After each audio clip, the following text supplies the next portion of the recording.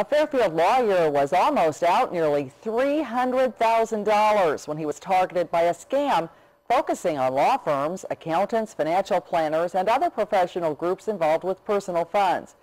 David Sykes received a letter from a woman claiming to live in Japan with a husband in Jefferson County, Iowa.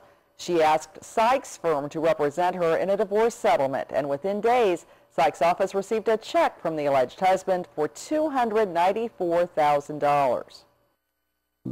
The FBI told me that the, the routing numbers on the check would not have gone to the bank. It would have gone to the scammers, possibly outside the U.S., possibly Nigeria.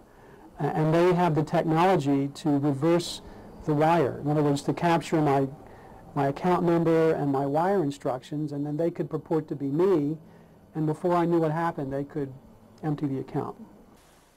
Sykes says he contacted the FBI Bureau office in Chicago. Authorities there told him they receive around 40 calls a day reporting similar actions. However, with the foreign involvement, there's not much they can do. If Sykes had not caught the scam before cashing the check, he would have been responsible for paying back his clients all the money the scam stole.